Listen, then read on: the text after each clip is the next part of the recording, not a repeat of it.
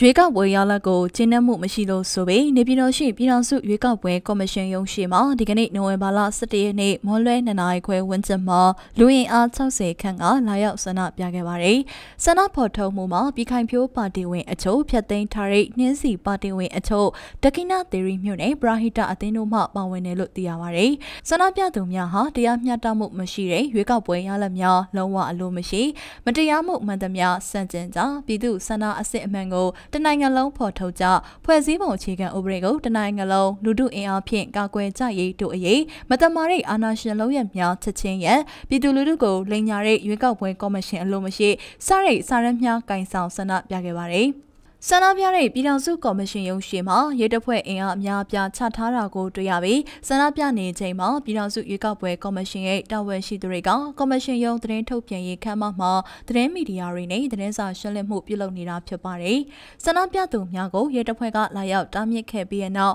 လူစုခွဲကပြန်လည်ထွက်ခွာသွားတယ်လို့သိရပါတယ်။ဆန္ဒပြသူများကိုမြည်သည့်အတွက်ကြောင့်တားမြစ်ခဲ့တဲ့နဲ့အရေးယူရန်ရှိမရှိသတင်းမီဒီယာများကလာရောက်တားမြစ်တဲ့ဒူရဲမှုအဆင့်ရှိရဲရရှိတဦးအားမေးမြန်းရာပြောရရတဲ့အချိန်မှာပြောပေးမှာဖြစ်ကြောင်းလက်ရှိမှာပြောကြားနိုင်ခြင်းမရှိသေးဘူးလို့ပြန်လည်ဖြေကြားခဲ့ပါတယ်။